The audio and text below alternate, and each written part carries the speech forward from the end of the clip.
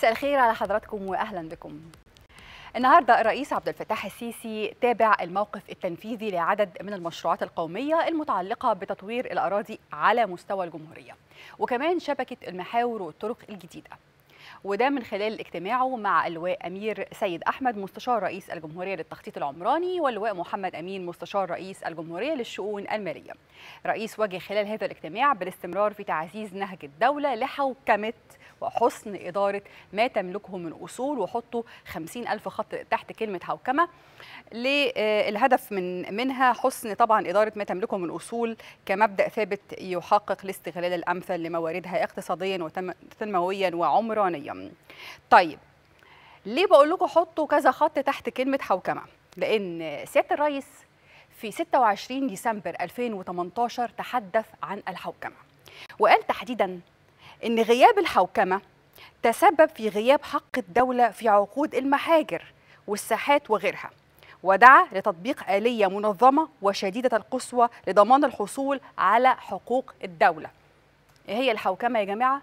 الحوكمة مزيد من الرقابة على الشركات مزيد من الرقابة على الحكومة مزيد من الرقابة اللي بيجعل هناك شفافية في كل الأداء يعني مفيش أي فساد مالي ولا إداري في أي منظومة موجودة في الدولة وبالتالي بتجعل هناك ثقة من المواطن في الدولة وثقة خارجية. العالم أجمع بيثق في الدولة من خلال نظام الحوكمة المتبع في كل دول العالم. مصر بتسير بخطى ثابتة نحو تنفيذ هذا النظام اللي هو الحوكمة بداية من الشركات إلى المؤسسات إلى المنظمات. هذا الموضوع في غاية الأهمية. الحوكمة ملوش أي علاقة بالحكومة. الحوكمة يعني إحكام السيطرة والرقابة. وكل ما يبقى عندك رقابة على منظومة كل ما يبقى عندك نزاهة وشفافية. وده بيحصل لما الهيكل الإداري بيقل. كل ما الهيكل الإداري يزيد نسبة الرقابة عليه بيبقى بتبقى صعبة. فمهم قوي إن الهيكل الإداري لأي منظومة يكون قليل فبيكون في رقابة سهل جدا عليها. ممكن قوي كمان يبقى في رقابة على أجزاء معينة مثلا من الشركة من منظومة وبعد كده آه تبقى في رقابة كبيرة على هذه المنظومة رقابة آه يعني آه مؤسسية. و من السهل بقى بعد كده إن يكون في رقابة من الحكومة وغيرها لأن ما عندناش حاجة نخاف منها. ده باختصار الحوكمه طيب معانا دلوقتي دكتور عصام الجوهري عضو الهيئة الاستشارية بمعهد التخطيط القومي مساء الخير يا فندم. مساء الخير أهلا بيك واهلا بالساده المشاهدين. أهلا بحضرتك. طبعا النهارده الرئيس عبد الفتاح السيسي تحدث في موضوع في غاية الأهمية وهو تحسين إدارة أصول الدولة آه وكمان الحوكمه عايز أعرف الخطوات اللي مصر ماشية فيها عشان تنفيذ هذا الموضوع. الحقيقة ان الحوكمه هو الصوت مش واضح يا فندم كلنا نعلم إن سياده الرئيس وجه بإن الدولة بشكل كويس جدا على أحسن استغلال مم. خلال السنتين ثلاثة اللي فاتوا. فجزء جزء الاستغلال ده بينقسم لقسمين قسم مم. خاص بالتنمية المستدامة واستغلال هذه الأصول فيما يخص الأجيال القادمة وده بيقوم به الصندوق السيادي. وفي جزء خاص بحصر كل هذه الأصول بغرض استخدام مم. المواطنين الآن اجتماع النهارده كان. معايا يا دكتور عصام؟ ألو؟ طيب. طب واضح إن إحنا فقدنا الاتصال بدكتور عصام الجوهري عضو الهيئة الاستشارية بمعهد التخطيط القومي. يعني هنحاول معاوده الاتصال مرة تانية لكن أنا فهمت من دكتور عصام إن إحنا بدأنا آه، نقطع شوط كبير جدا في موضوع الحوكمة وإن إحنا بنستغل آه، وجود آه، صندوق صندوق مصر السيادي في تحسين طبعا استغلال إدارة ما تملكه الدولة من أصول علشان تحقيق هذه النقطة المهمة جدا في مبدأ الشفافية ومبدأ النزاهة آه، وده على فكرة مرتبط بالنزاهة العالمية. فأعتقد إن إحنا ماشيين بخطوات ثابتة جدا. وواضح إن المتابعة للسيد الرئيس عبد الفتاح السيسي في هذا الموضوع على قدم وساق حتى نصل إلى تحقيقه كما ينبغي أن يكون. وده هيحقق لنا على فكرة تنمية اقتصادية غاية في الأهمية. فالموضوع في غاية الأهمية الحقيقة ومحطوط على آه، أجندة الدولة آه، لتحقيقها في أقرب وقت ممكن إن شاء الله أو إتمامها بصورة نهائية. خلينا نروح للولايات المتحدة الأمريكية والتطورات المتلاحقة اللي موجودة هناك. طبعا من يوم الأربعاء الماضي في تطورات بتشهدها الولايات المتحدة الأمريكية مشاهد اقتحام الكونجرس الأمريكي اللي من المؤكد أن لغاية يوم 20 يناير وهو الموعد الرسمي لتنصيب جو بايدن الرئيس المنتخب هيكون في مزيد من الأحداث على الساحة الأمريكية. طبعا ترامب أعلن أنه مش هيحضر تنصيب بايدن لكن يا ترى هل هيتم عزل ترامب قبل حفل تنصيب الرئيس الجديد بايدن؟ بايدن نفسه قال إنه على الرغم من إن ترامب غير لائق للوظيفة لكنه رفض مرارا وتكرارا تأكيد وتأييد الدعوات المتزايدة للديمقراطيين لعزله وده وفقا لوكالة الاسوشيتد بريس لكن رئيسة مجلس النواب نانسي بيلوسي قالت في رسالة إلى أعضاء المجلس إن المشرعين قد يتحركون في أسرع وقت ممكن الأسبوع القادم لعزل ترامب وده لتحريضه على اجتياح مبنى الكابيتول الأمريكي. خلينا نعرف تطورات الوضع داخل أمريكا في الوقت الحالي وإيه اللي ممكن يحصل معانا دلوقتي من واشنطن الكاتب الصحفي عمرو جوهر. مساء الخير يا أستاذ عمرو. أهلا وسهلا يا فندم مساء النور. أهلا بحضرتك. تطورات الوضع داخل الولايات المتحدة الأمريكية وصل لغاية فين النهارده؟ بدءا من طبعا من يوم الأربعاء الماضي والتظاهرات داخل الكونجرس الأمريكي. الساحة الأمريكية ماذا يحدث فيها؟ وهو المتوقع أن يحدث حتى 20 يناير. وطبعا أنا عايز بس يعني أوضح معلومة لحضرتك إن الأمريكي دونالد ترامب لم ولن يدعو إلى اقتحام الكونجرس الأمريكي. هو كل ما فعل وهو الدعوة إلى التظاهر أمام مبنى الكونجرس الأمريكي ما حدث من اقتحام للكونجرس للكونجرس هو خلل أمني بعد رفض حاكمة ولاية واشنطن أو العاصمة الأمريكية واشنطن دي سي الموافقة على يعني استدعاء المزيد من عناصر الحرس الوطني الأمريكي ودعوة الجيش الأمريكي لتأمين العاصمة الأمريكية واشنطن حيث أن كان هناك دعوة لمظاهرة أو كان هناك بالفعل مظاهرة تسمى بمدينيه ترامب لتأييد الرئيس الحالي دونالد ترامب. بخصوص فكرة نانسي بلوسي إنها يعني تأخذ إجراءات بعزل الرئيس الأمريكي دونالد ترامب. طبعا كما نعلم جميعا أن تنصيب الرئيس القادم هو 20 يناير. لو وضعنا في الاعتبار أن نانسي بلوسي كانت أخذت على عاتقها منذ تولي الرئيس دونالد ترامب مقاليد الحكم من أربع سنوات هي قالت أنها تستعجله من منصبه ودخلت أمريكا ودخل المشرعين الأمريكان ودخل الكونجرس الأمريكي في سجال لمدة عامين ونصف من المهاترات السياسية والمحاكمات. انتهت بلا شيء. وبالتالي فكرة دعوة نانسي بلوسي لعزل الرئيس الأمريكي دونالد ترامب أنا أعتقد أنها ليس وقتها المناسب ليس لها محل من الإعراب وخصوصا أن مايك بنس وهو نائب الرئيس الأمريكي وطبقا للدستور الأمريكي أيضا هو رئيس مجلس الشيوخ هو عبر بشكل مباشر أنه يرفض مثل هذه الخطوة وبالتالي حتى لو استطاعت نانسي بلوسي وهي رئيسة الكونجرس الحصول على الأغلبية وهم لديهم بالفعل أغلبية من الأعضاء الديمقراطيين داخل الكونجرس سنصطدم بنفس الأزمة الماضية وهي المجلس الشيوخ حيث أن هناك أغلبية لأنصار ترامب. وبالتالي لا يجب أن ننظر إلى فكرة عزل ترامب لأنها لن تحدث. لا يجب أن ننظر إلى ما تقوله نانسي بلوسي لأنها فقط تستكمل ما بدأته وكأنه صراع شخصي بينها وبين الرئيس الأمريكي دونالد ترامب وخصوصا هي لن يكون لها أي دور مع الحكومة الجديده في كل الاحوال. يعني حضرتك بتستبعد أن يحدث هذا الموضوع يعني لأنه غير لائق لحدوث انقسامات داخل الشارع, الشارع الأمريكي في حالة حدوثه ولا لعدم قدرة يعني يعني من قالته ان إنه أن يحدث في هذا التوقيت تحديدا؟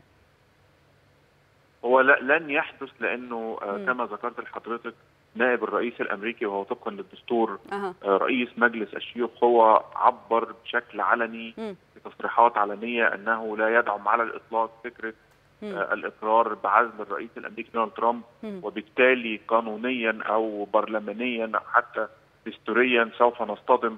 يعني نحن ليس لدينا رفاهية الوقت حتى نقوم بمثل هذه بالتصويت وهذا هذه المسألة قد تأخذ وقت. لكن أنا بعتقد هذه هي جزء من الحرب النفسية على الرئيس الأمريكي دونالد ترامب وشغل مؤيديه وحتى التنكيل به في آخر أيامه داخل البيت الأبيض.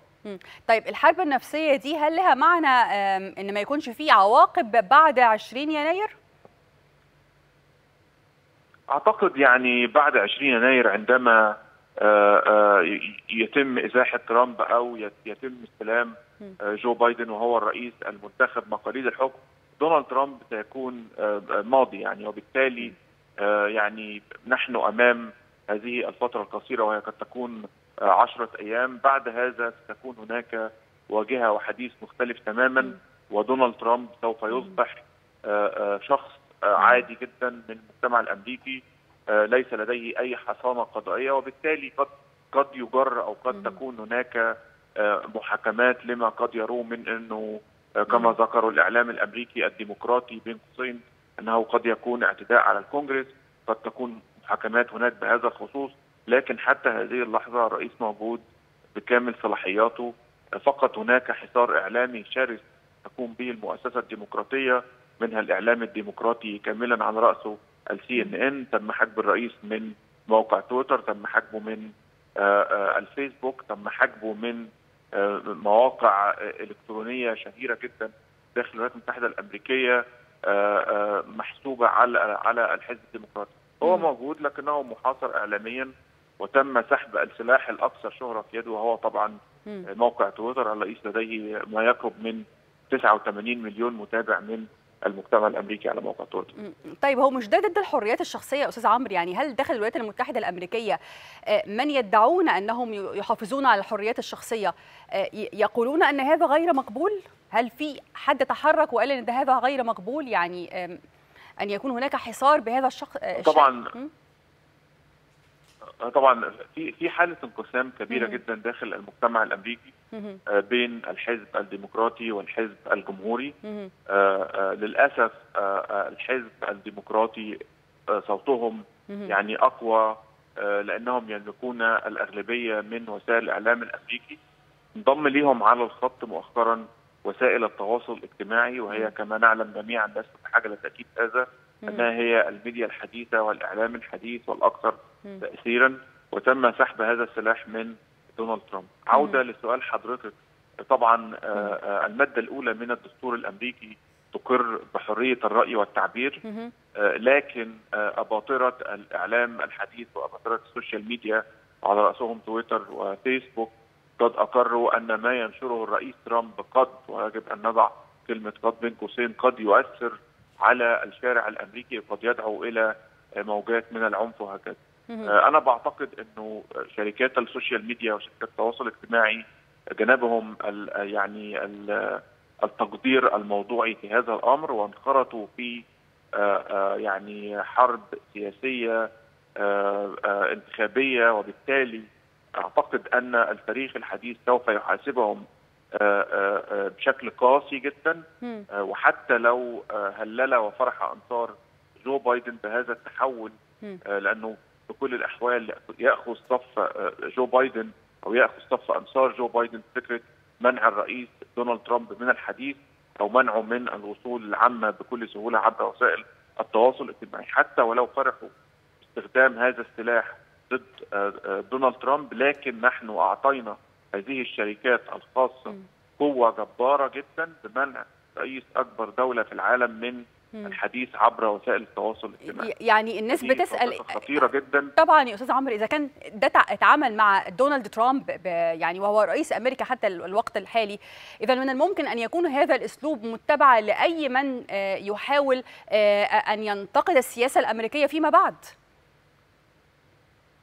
طبعا هو للأسف يعني السياسة الأمريكية والديمقراطية الأمريكية خلال هذا الشهر قد شابها الكثير جدا وهذا قد يعطي يعني صلاحيات واسعة جدا لبعض دول الشرق الأوسط وأنا لا ألومهم ابدا لما يقوم رئيس بظرف استثنائي داخلي في دولة ما بحجب الإنترنت أو حجب ال social media عن الجمهور تحت نفس الشعار الذي استخدمه شركات الإنترنت العالمية أو شركات ال social media العالمية والجبارة بمنع أكبر رئيس دولة في العالم. وبالتالي أنا أعتقد أن أمريكا فقدت جزء كبير من واجهتها العالمية جزء كبير من هيبتها العالمية لأنها لن تستطيع في المستقبل القريب أن تعلق على أي تصرف داخلي لأي حكومة كانت سواء في أوروبا في الشرق الأوسط في العالم المتحضر في العالم السادس.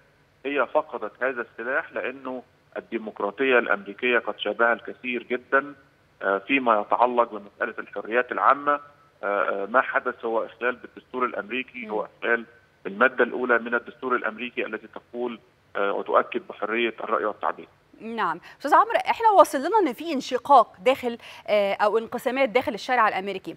إيه هي ردود الفعل بقى داخل الشارع الأمريكي زي ما حضرتك شايفها وأنت أقرب للحدث يعني بعد كل هذه الأحداث يعني اللي أفقدت الثقة في السياسة الأمريكية وفي الإدارة الأمريكية وفي ادعاءات الحرية خاصة حرية الرأي والتعبير؟ طبعا هو في جزء مهم جدا ليس فقط وحده الرئيس الأمريكي دونالد ترامب هو الذي تم منعه الكثير من مؤيديه. ونحن نعلم أنه يمكن حصار مجموعة باستخدام يعني النطاق الجغرافي بمعنى كل من كان داخل المظاهرة في قلب العاصمة الأمريكية واشنطن تم منعهم بشكل أو بآخر من التعبير عن رأيهم سواء عبر تويتر أو عبر فيسبوك. إلا فيما نظر وإلا يعني من كانت آراءه وأفكاره تميل أكثر إلى اعتبار أن هذا هو يعني دعوة من ترامب إلى اختراق الكونغرس الأمريكي. هذا لن يحدث. هناك خطابات رسمية رفضت فيها رئيسة أو حاكمة ولاية واشنطن كل الدعوات التي تمت إليها بإمدادات أمنية. لتأمين الموقف، يعني هناك كانت هناك مليونيه للرئيس الأمريكي دونالد ترامب قبل شهر تقريبا. كان متواجد فيها مدرعات الجيش الأمريكي، كان متواجد فيها الجيش الأمريكي، كان متواجد فيها الحرس الوطني، لماذا لم يتم سماح بهذه القوات لتأمين شكل هذه المظاهرة؟ لماذا لم يتم تأمين مبنى الكونجرس الأمريكي؟ ونحن نعلم أن هذه الانتخابات انتخابات ليست تقليدية، نحن نعلم أن هناك الكثير من الاعتراضات سوف تتم داخل مبنى الكونجرس الأمريكي أثناء التأكيد على نتيجة أصوات المجمع الانتخابي وتنصيب جو بايدن رئيسا، كل ما شاهدناه أمام شاشات التلفزيون العالمية والمحلية وحدثي كما تشائين هناك عدد قليل جدا من أفراد الأمن حول المتظاهرين 20 فرد أمامهم 30 ألف وبالتالي دخول الكونجرس كان يعني لن يتم اقتحام كما تقول وسائل الإعلام الديمقراطية الأمريكية هو كان دخول يبدو طبيعي لبعض الغاضبين ادى لهذه النتيجه. أنا بعتقد أنه يعني طبقا للتحقيقات التي يتم الآن ويتساءل أعضاء من الكونجرس الأمريكي كيف حدث هذا؟ أين المخابرات الأمريكية؟ أين الأمن الأمريكي؟ ألا يوجد فردا واحدا قد استطاع أن يتنبأ مسبقا من خلال المخابرات الأمريكية أنه قد يكون هناك اقتحام للكونجرس الأمريكي في هذا الظرف الاستثنائي في تاريخ الانتخابات الأمريكية بشكل بشكل عام. كل هذه علامات استفهام يتسالها المواطن الأمريكي يتسالها المشرع الأمريكي يتسالها بعض أعضاء الكونجرس لأنه تم سرقه حتى ملفات متعلقة بالأمن القومي الأمريكي المتواجدة مع أعضاء الكونجرس أو في مكاتبهم.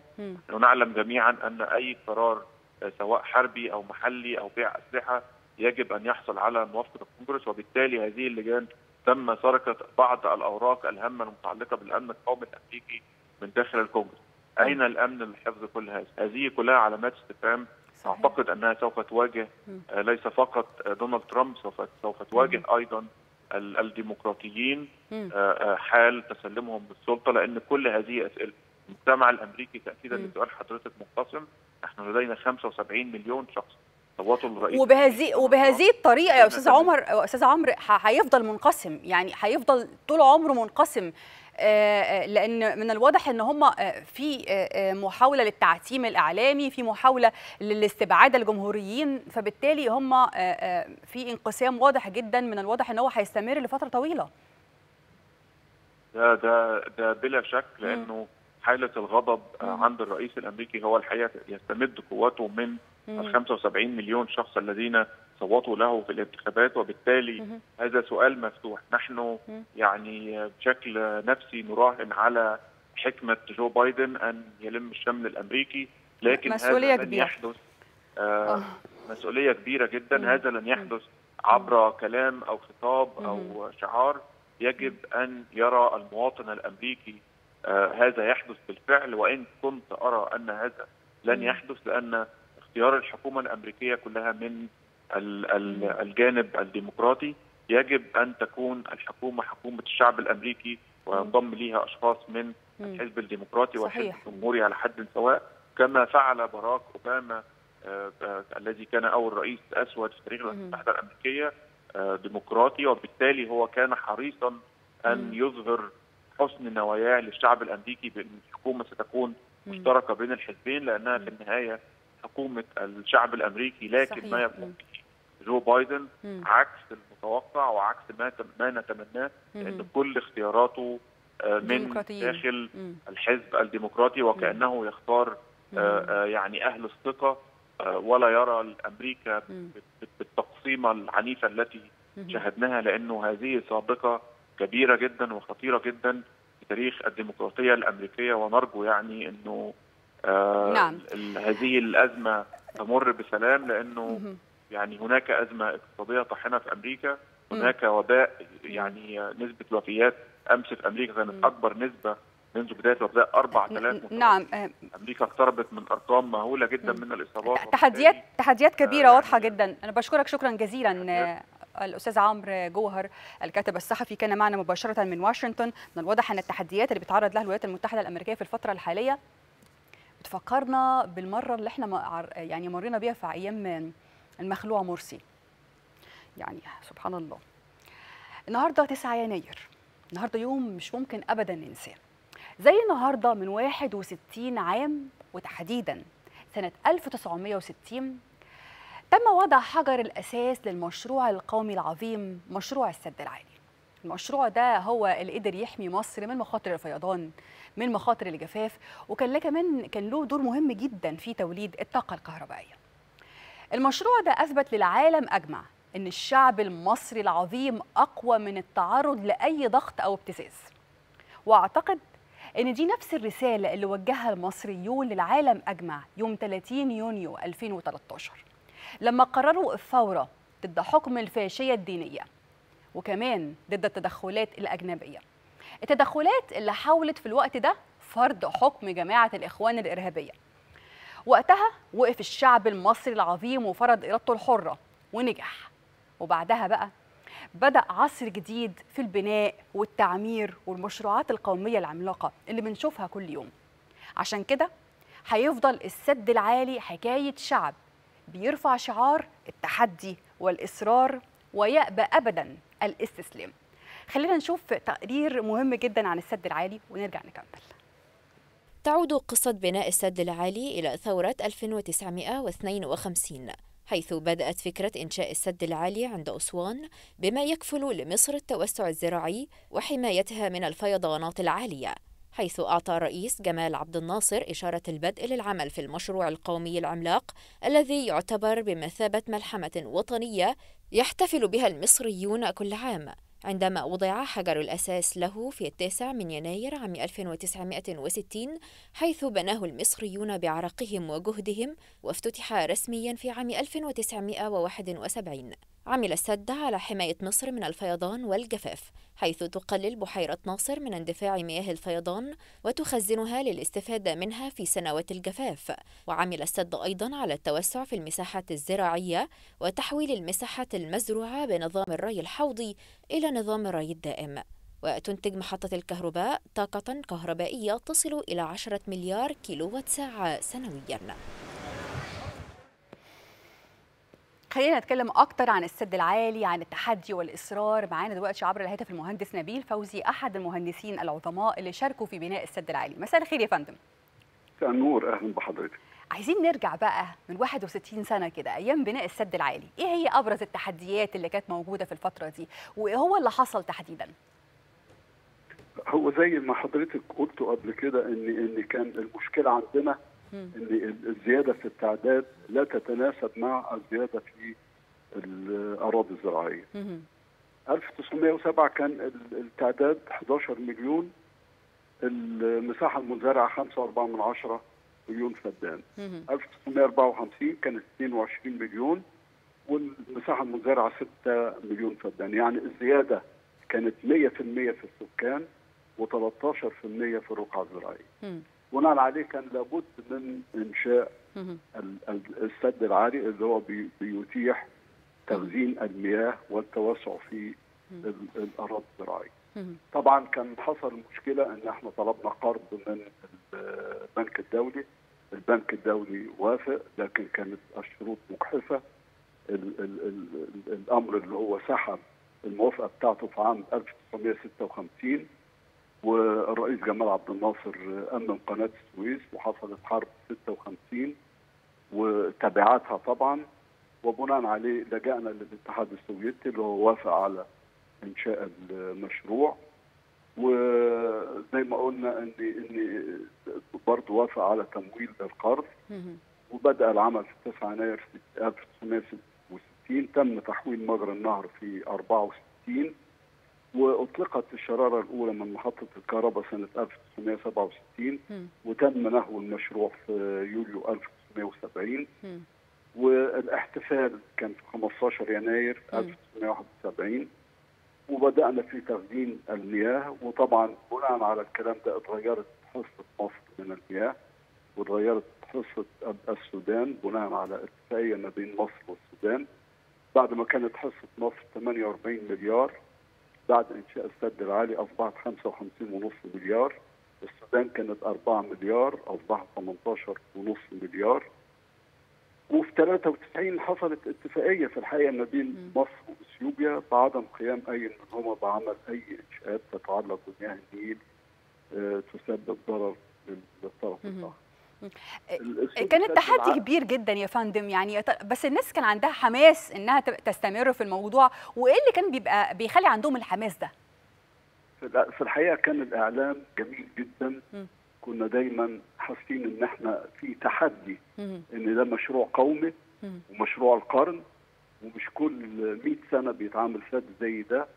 والخلفية التاريخية اللي أنا قلتها كانت بتحمسنا على إن إحنا لابد نشتغل ولابد السد ينتهي في مواعيده ولابد يعني ينتهي بالكفاءة والمواصفات المطلوبة علشان نجني الثمار منه. فكان في تحدي وكان في اعلام كويس جدا. دايما بيحفزنا على إن إحنا نشتغل ده يخلينا بقى نتكلم عن النهارده وإحنا عندنا مشروعات قومية عملاقة. دور الإعلام إيه تجاهها بروازة هذه المشروعات؟ زيادة حماس الناس إن يكون عندها مشاركة أكتر إنها تكون عندها فخر ببلدها أكتر. يعني حضرتك بتتكلم عن إن الإعلام له دور مهم جدا في المشروعات القومية العملاقة وفي تحميس الناس. بالظبط كده بالظبط كده. يعني كانت ظروف العمل صعبة جدا لكن كان حب العمل وكان م. الإخلاص كان عظيم جدا لأن الإعلام كان بيدفعنا بيدفعنا إن إحنا نشتغل في ظروف صعبة. يعني إحنا كنا بنشتغل ثلاث ورديات. 24 ساعة. العمل في السد العالي لم يتوقف وردية واحدة ولا يوم واحد. رغم الظروف الصعبة في الصيف. الحر وفي الشتاء كان ال ال يعني مش قادر أقول لك إيه اللي كان بيحصل لما كنت بنزل وردية الساعة 11 بالليل. نازل رايح أشتغل الساعة 11 مساء. yeah. الورديه بتنتهي 8 صباحا. والجو كان يعني كنا اللبس بتاع زمايلي كلهم اللي في الشقة معايا كنا بنلبسه في ورديه الليل لا لا وتخيل إن إحنا نازلين في الصيف مثلا الساعة 3 الظهر علشان نشتغل من 3 ل 11 في الجو الحار الفظيع اللي موجود في أسوان. لكن كان حب العمل وكان الهدف القومي اللي إحنا بنشتغل منه. وكان الحماس اللي موجود. وكان فريق العمل الموجود المهندس مع رئيسه مع يعني مم. أنا أنا كان في أيام فرديه الليل بلاقي واحد بيحط إيده على كتفي. صدق سليمان الله يرحمه اللي هو وزير السد العالي. الله يرحمه. الله يرحمه. فده برضه حافز مم. اسمك إيه بتشتغل فين وايه الموقف وقول لي اشرح لي تقدم العمل والكلام ده. لما بحس ان الوزير معايا الساعة 3 بالليل يبقى أنا موقفي إيه؟ واخد حضرتك. رؤسائي طول اليوم. موجودين. ورديه الليل بشوفهم ورديه النهار بشوفهم. فكان كل ده بيدفعنا. للمزيد من العمل والجهد. كان في يعني كان في قادة. وقيادة بتعلمنا إزاي نشتغل مفيش حاجة اسمها مهندس حكومة ومهندس مقاولين عرب يعني أنا كنت بشرف على المقاولين العرب يعني أنا مهمتي المواصفات مم. والمقاولين العرب مهم- مهمتها ال- ال- الكم. لكن لا كانوا بيقولوا لنا أنت المواصفات وأنت مسؤول عن الكم أيضا. المهندس بتاع المقاولين العرب مسؤول عن المواصفات عن المواصفات. بالإضافة للكم. كل الحاجات دي كان. بتدينا إحساس إن إحنا بنشتغل في مشروع ضخم جدا لابد نعم. ينتهي علشان. نجني الثمار بتاعته نعم.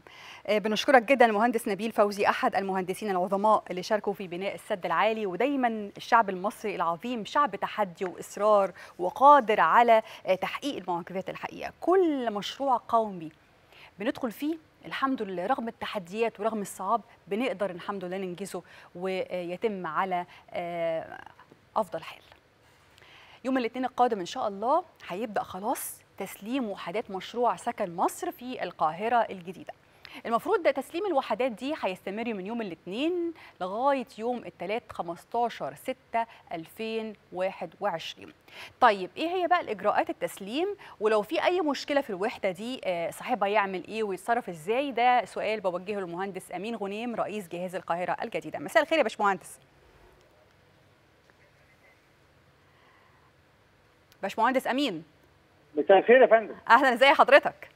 أهلا بيك يا فندم. أهلا بيك. إحنا عندنا دلوقتي تسليم وحدات آه، سكن مصر هيكون يوم آه، آه، 1 2 أول فبراير إن شاء الله. بإذن الله تعالى آه، سكن مصر إن شاء. الله. إحنا إحنا آه، عندنا بإذن الله 24 عمارة هيسلموا 1 2 21 مم. دي مكانها فين بالظبط بقى في القاهرة الجديدة؟ إحنا ال- دي في التجمع الثالث. آه، يمكن آه، إحنا إحنا الإسكان كله. آه، سكن مصر في التجمع الثالث. مم. ما بين أرض المعارض وأرض الجمعيات. وده آه، من إجمالي الإسكان في القاهرة الجديدة اللي تقطع عدده فوق 47000 واحد. الوحدات دي بقى مواصفاتها عاملة إزاي؟ وبقى لها قد إيه؟ المفروض إن هي يعني بتتبني. إحنا يمكن المشروع ده يعني يقرب آه، من سنتين. وإجمالي عدد وحداته في القاهرة الجديدة كان 17052 وحدة آه، مم. 721 عمارة. آه، في 116 عمارة تسلموا فعلا. وفي 94 إحنا هنسلمهم من واحد اثنين. وان شاء الله بإذن الله باقي 511 عمارة آه، بإجمالي آه، 12264 وحدة مم. هنبدأ آه، تباعا من 1 4 21 تمام طيب دلوقتي آه، اولا صاحب آه، الوحدة هيعرف إزاي إن هو المفروض يروح يستلم الوحدة دي ولو في حد عايز يأجل التسليم يعمل إيه شوفي حضرتك. إحنا إحنا يمكن اخترنا. البنك بجدول اللي هو تم آه، الإعلان عنده بالجرايد. مجرد هو بيروح يخلص البنك بيجي بينزل على الموقع عشان يسحب الوحدة بيبص على الوحدة عجبته ما فيهاش مشاكل يس- ياخد محضر الاستلام ويكمل الاجراء مم. ويمكن أنا بنصح كل الناس. أوعى تستلم وحدتك فيها ملحوظ أوعى تستلم وحدتك وأنت مش راضي عنها. لو مش راضي عنها خلي يعمل إيه طيب هيرجع يشوف فندم هيرجع لمهندس الموقع وكله بيستجيب. في حالة أي مشكلة مش عاجباه مكتبي مفتوح مم. آه. طيب ال- اللي مش عايز يستلم مش قادر يدفع اللي هي فلوس الاستلام في الفترة ال- اللي هي المطلوبة قدامه قد إيه يستنى. شوفي حضرتك مم. إحنا إحنا يمكن الجدول التسليم. إحنا فاردينه شوية مم. على أساس ان إن عشان الظروف ال- وال- والاحتياطات الاحترازية اللي إحنا واخدينها والبنو- والبنوك كمان آه، بعد انتهاء المدة يبقى له شهر تاني مم. آه، غير كده إحنا ملتزمين بالكراسه أو بشروط الكراسه اللي طرحناها لأن في التزامات علينا بعد التسليم تمام. بشكرك شكرا جزيلا على هذه الإيضاحات المهندس أمين غنيم رئيس جهاز القاهرة الجديدة. وبفكر الناس إن من يوم الاثنين 1 فبراير 2021 ولغاية الثلاث 15 6 هيتم تسليم الوحدات الخاصة بسكن مصر القاهرة الجديدة. الوحدات دي بقالها سنتين بس بتتبني كل هذه الوحدات وشكلها بصراحة في منتهى الروعة والجمال. ما حدش يصدق ابدا يعني إن دي بجد سكن مصر ولا حكومه لأ شكلها فعلا رائع. مم.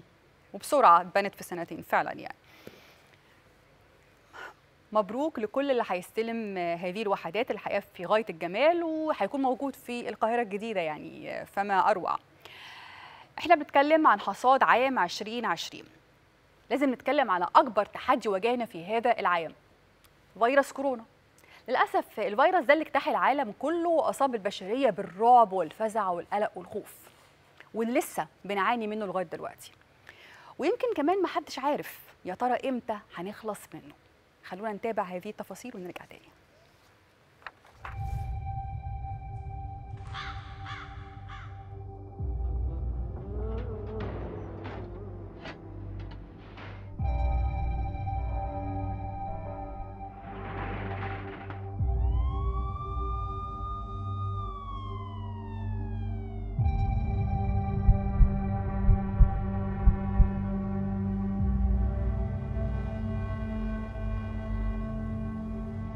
Virus can have more powerful consequences than any terrorist action.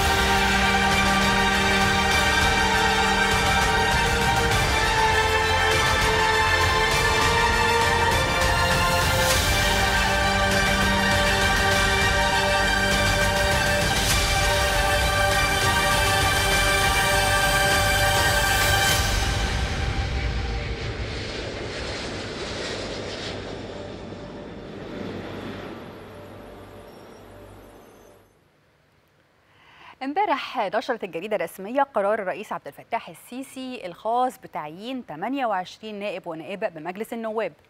ويوم الثلاث القادم إن شاء الله بيبدأ دورة الانعقاد الجديدة للمجلس اللي بيشهد تمثيل متنوع لكل طوائف المجتمع. تمثيل يمكن الأكبر للتيارات السياسية بأكملها مع حضور لافت جدا للمرأة ولشباب تنسيقية الأحزاب. سؤالنا الحالي عن أهم أولويات البرلمان القادم وده اللي هنعرفه من لقائنا مع الأستاذ عماد خليل عضو مجلس النواب عن تنسيقية شباب الأحزاب والسياسيين. أهلا بيك يا أستاذ عماد. أهلا بحضرتك يا أستاذ رانيا اولا ببارك لك زميلنا العزيز طبعا عماد خليل الصحفي المتميز. واحكي لي بقى أول ما سمعت إنك اتعينت في مجلس النواب اللحظة كانت إزاي وكانت إمتى؟ يعني هو كان في البداية كانت آه، ليلة آه، عيد الميلاد وكان جاية في مناسبة سعيدة جدا. طبعا. جاية في آه، العيد وكمان هو نفس يوم عيد ميلاد زوجتي العزيزة اللي وجهت تحية على الهوا. فكان أكثر من مناسبة سعيدة في وقت واحد. بالإضافة لوجود وجود اسم وسط قامة من الأسماء ال- المميزة والخبرات ال- ال- اللي بيفخر بها كل الشعب المصري فكانت مناسبة سعيدة جدا. وده يا أستاذ رانيا يمكن التوجه للقيادة السياسية لتمكين الشباب. يمكن أنا شفت حتى عدد كبير من الشباب المميز اللي موجود في ال 28 في قائمة المعينين بالإضافة لوجود عدد من الإعلاميين وعدد من الرياضيين عدد من الخبراء الاقتصاديين عدد من رؤساء الجامعات. فكان تنوع مصري للحياة السياسية والحياة البرلمانية إن شاء الله. اولا ألف مبروك وكل سنة وأنت طيب وعيد ميلاد سعيد. وإن شاء الله آه، القادم يكون أفضل. يا أستاذ عماد ويكون في حماس كده. تنسيقية شباب الأحزاب عندها مجموعة من اللجان ومجموعة من التحضيرات مسبقة. قول لي أنت هتستفيد إيه من التحضيرات دي للقادم إن شاء الله؟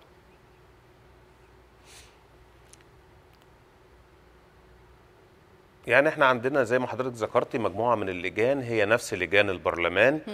بيتم كل حتى آلية الانضمام أو الاشتراك في اللجان بتكون نفس آلية الاشتراك في لجان البرلمان. هي لجنة أساسية ولجنة أخرى فرعية.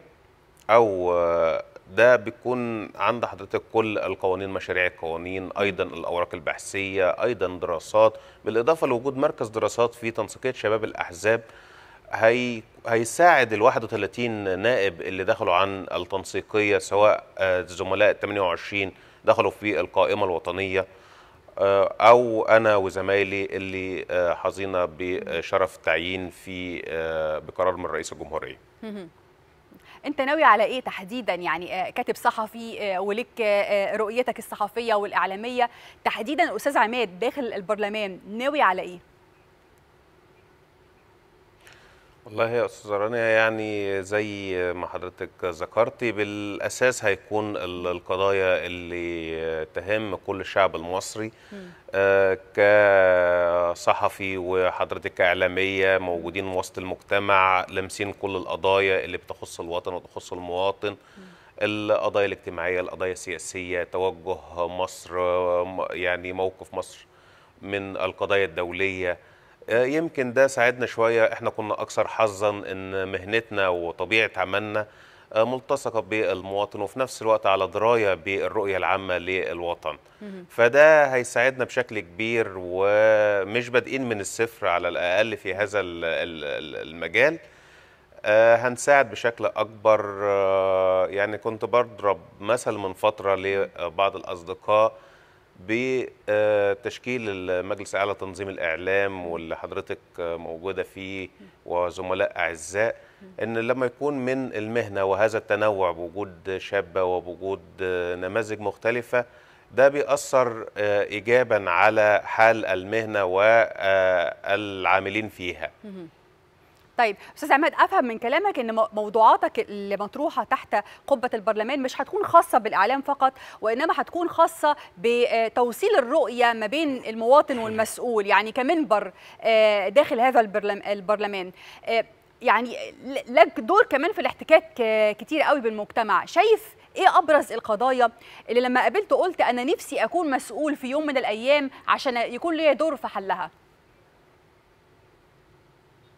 يعني بالترتيب كده هي قضايا المساهمة في قضايا التنمية وخاصة النهج الدولة المصرية في التنمية التحول الرقمي الحوكمة أيضا مجال الرعاية الاجتماعية خاصة أن في جهود كبير جدا قامت بها الدولة فنستكمل هذا المجهود.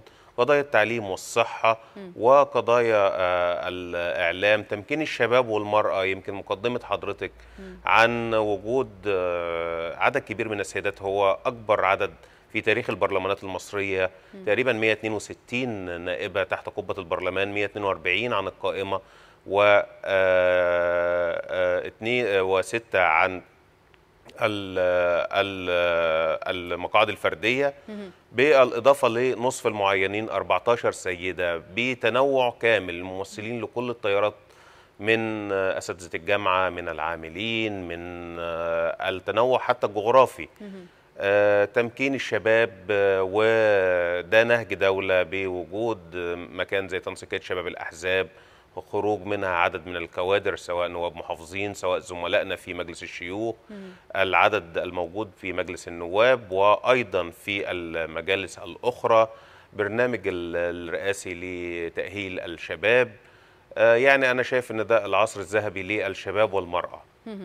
طيب في الفترة الأخيرة بتعاني كتير قوي من الصحف من أزمة مالية وعدد كبير من المشاكل هل من الممكن أن تتبنى هذه المشاكل داخل البرلمان المصري؟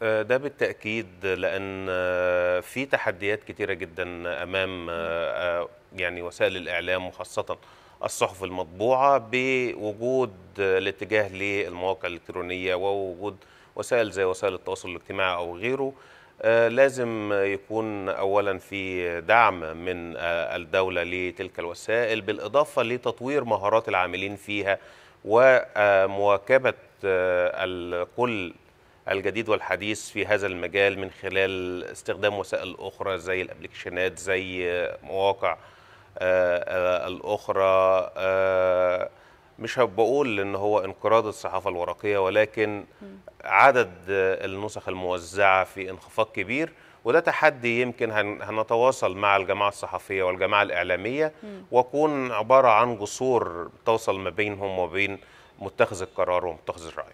إن شاء الله. طب أستاذ عماد نقطة مهمة جدا الحقيقة لعضو البرلمان ودي أعتقد موجودة داخل تنسيقية شباب الأحزاب ومميزة جدا وهي التواصل مع كل طوائف المجتمع.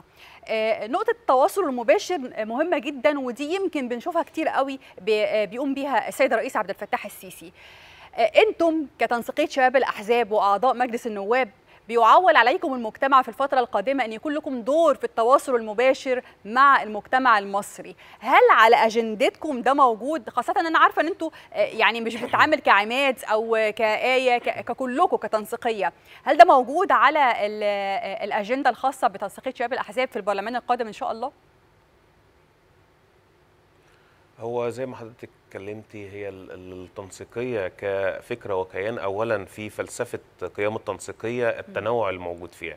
يعني لكن تعرفي يا أستاذة رانيا وأكيد حضرتك عارفة إن التنسيقية مجموعة من الأحزاب المختلفة ممثلين ليها الشباب من أقصى اليمين وأقصى اليسار. يعني في كل التيارات عندنا موجود ممثلين لحزب النور موجود لحزب التجمع موجود أحزاب موالاه ومعارضة موجود مجموعة منتقاة من شباب السياسيين المستقلين. في دايما أفكار جديدة في اجتماعات كلنا في البداية زي ما ذكرت اللجان المختلفة. القضايا المختلفة بيتم إثارتها زي يمكن إحنا كمان محظوظين أكتر إن إحنا ورانا كيان كبير. آه كمان إحنا موجودين بأفكار 200 عضو من أعضاء التنسيقية. أنا لو احتجت ورقة عمل في لجنة حقوق الإنسان أو في لجنة حتى غير اللجنة اللي اكون موجود فيها هتلاقي دراسات معينة هتلاقي أفكار معينة في آه وسائل حديثة زي العصر العصر الذهني وغيرها. دايما التنسيقية سابقة بخطوة من خلال حتى التواصل إن هي تطلق موقع إلكتروني مفتوحه لكل الأفكار كل ال ال الكيانات. لو تابعت حضرتك تغطية الانتخابات رغم إن عندنا زملاء كانوا موجودين بياخدوا الانتخابات لكن حتى كجهة مراقبة موجودة في كل المحافظات ويمكن حتى كان حظت بتغطية إعلامية كبيرة جدا لثقة وسائل الإعلام في التنسيقية وفي هذا الشباب وفي هذا الفكر الحديث المستنير.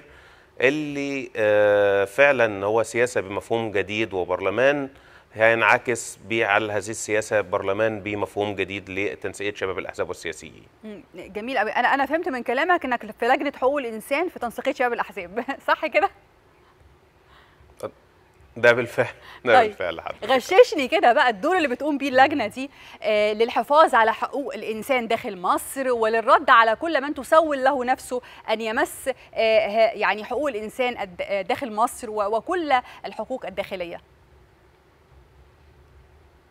يعني إحنا عندنا اللجنة هو أمين سر اللجنة وتركيبه اللجنة نفسها أمين السر هو الصديق العزيز النائب طارق الخولي والأمين السر المساعد الصديق العزيز الكاتب الصحفي في جريدة الوطن.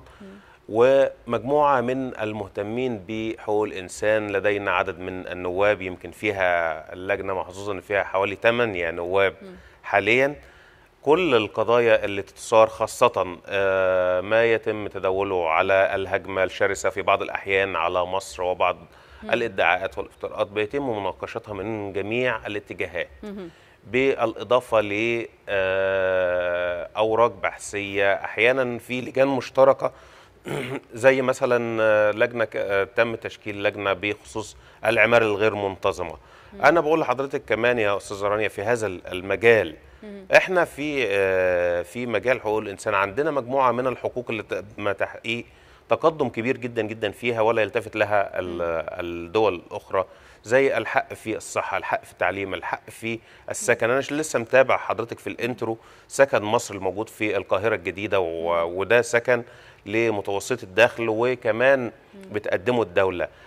ملف العشوائيات ملف الطرق كل هذه حقوق أساسية لحق الإنسان مش حق الإنسان وحرية التعبير فقط هو حق أساسي وارض نهتم بيه. صحيح. ويمكن برضو في القضايا الأخرى إحنا بنشوف بعض الدول التانية بتتعامل إزاي في هذه القضايا. لكن بيتم مناقشتها بكل حياد مجموعة مميزة جدا. بتقدم رؤية والجميع بيساعد بعض يعني فيها. نعم. بتمنى لك التوفيق والنجاح إن شاء الله. وبشكرك شكرا جزيلا أستاذ عماد خليل عضو مجلس النواب عن تنسيقية شباب الأحزاب والسياسيين. كنت معنا مباشرة وبشكرك شكرا جزيلا مرة أخرى. دي كانت نهاية حلقتنا النهاردة. أعود وألقاكم الأسبوع القادم إن شاء الله في منشط جديد. مع رانيا هاشم. إلى اللقاء.